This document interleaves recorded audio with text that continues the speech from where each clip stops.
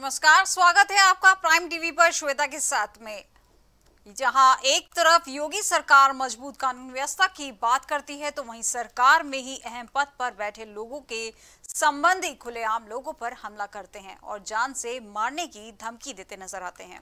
ऐसा ही एक मामला लखनऊ ग्रामीण स्थित मोहनलालगंज थाना क्षेत्र का है, जहाँ एक दर्जा प्राप्त राजमंत्री के बेटे ने एक समाज सेवी सचिन तिवारी के साथ मारपीट करने के बाद उसको जान से मारने की धमकी दी।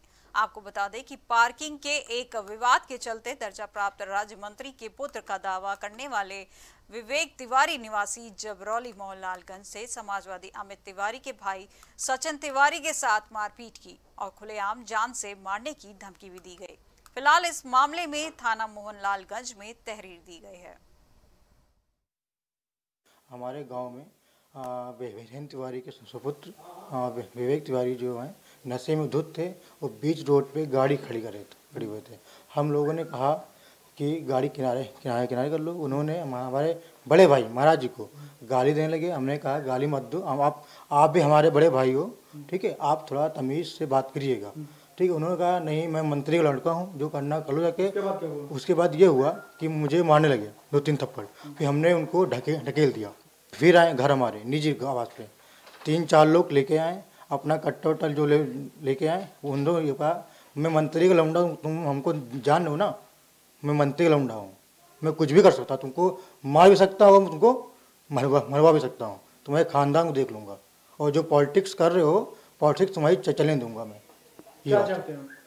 मैं ये चाहता हूँ न्याय छोटे भाई सचिन तिवारी के ऊपर जानलेवा हमला हुआ है और इस हमले की मैं निंदा करता हूँ जिस तरह ये राजनीतिक षड्यंत्र रूप दे के हमला हुआ है ये ठीक नहीं है।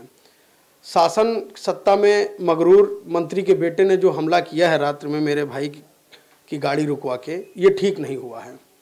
किन लोगों ने हमला किया? ये दर्जा प्राप्त मंत्री बीरेंद्र तिवारी के बेटे विवेक तिवारी ने किया है। और मैं बता देना चाहता हूँ कि माननीय मुख्यमंत्री जी जो प्रदेश के विकास कार्यों में हैं रत रहते हैं और विकास की जो गंगा बहा रहे हैं ऐसे मंत्री उनकी विकास की गंगा रोक रहे हैं।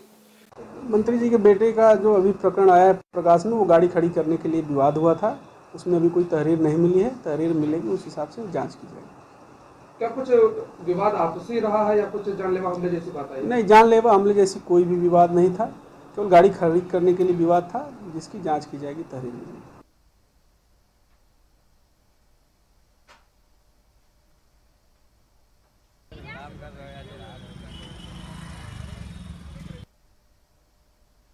देश दुनिया की तमाम खबरों के साथ बने रहिए प्राइम टीवी पर। नमस्कार।